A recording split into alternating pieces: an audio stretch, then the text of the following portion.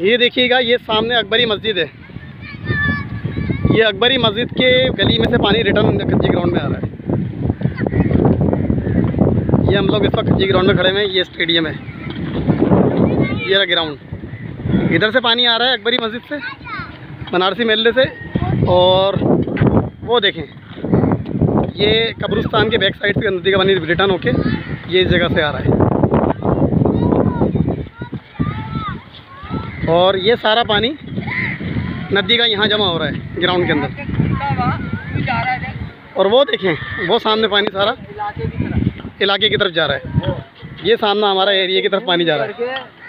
ये वहाँ चले जाएगा पार्क की तरफ़। हाँ, ये गलियों में घुसेगा। गलियों में घुस जाएगा। और ये देखें ये पीछे ये। है ये सब लोग तोड़ रहे हैं दीवार को।